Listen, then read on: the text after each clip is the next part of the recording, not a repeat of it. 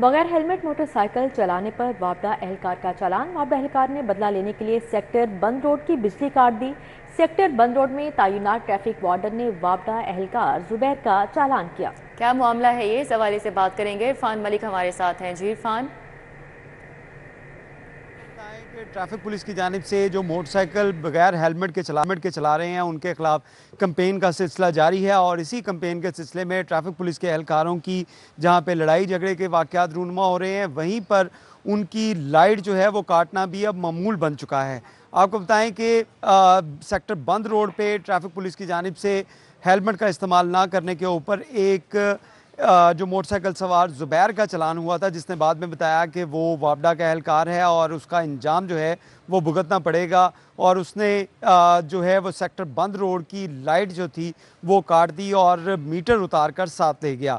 इस हवाले से ज़ुबैर जो वापडा एहलकार है, उससे हमने रबता किया और उससे जब पूछा तो उसका कहना था कि वो रोज़ाना की बुनियाद के ऊपर यहाँ पर ट्रैवल करते हैं और वापडा के जो अहलकार हैं, उनका भी ख्याल नहीं किया जा रहा ट्रैफ़िक पुलिस की जानब से। उनको बताया भी गया कि वो वापडा एहलकार है, वो हेलमेट का इस्तेमाल नहीं कर रहा था।